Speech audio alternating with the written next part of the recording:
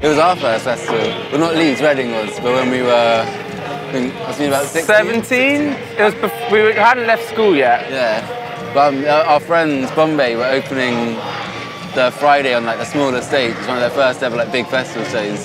So all our friends like came down and we were there from like Wednesday till I guess Monday. Monday. And yeah, it was really cool. I mean, there's a few people we see quite a lot. It's, it's always sort of nice.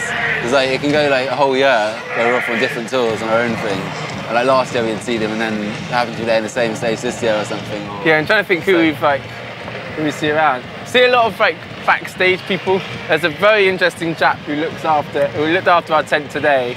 Uh, he's got an accent. Is he American or Canadian? I, he could be even Jamaican. He's got Yeah, like a maybe very Jamaican. Uh, He's like quite sort of hard to place. quite fruity, Yeah. quite mellow. Anyway, cool guy. And he was at Latitude. He was here. So, Sometimes he wears a bicycle, uh, like a motorbike helmet as well. That should Really? be noted. And a cape. Yeah. He wears a cape. Yeah, he dresses up for the occasion. I think, especially with people like that, you realise, like, I guess he's like 40 or something.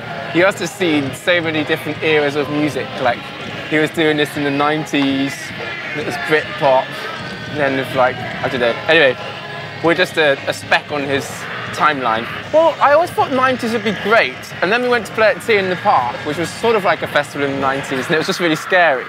So I'm not sure about that era. I think that would have been fun for like as a punter, just sort of off your head, kind of lying down in the sun, getting sunstroke. I don't know about like casually walking through sober. I guess the 70s or the 80s.